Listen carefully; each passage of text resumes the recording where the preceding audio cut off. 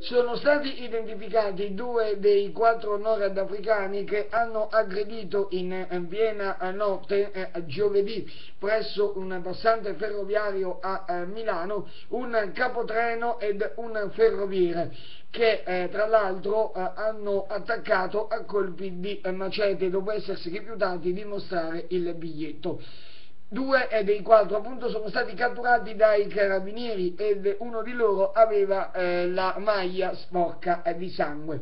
Si è trattato di una lesione molto grave, ma il braccio eh, dell'uomo, originario di Foggia, è salvo, lo hanno affermato fonti dell'ospedale di riguarda ad alcune agenzie giornalistiche. Intanto scoppia una nuova polemica con il governatore lombardo Maroni che dice se è necessario contrastare questi fenomeni bisogna sparare.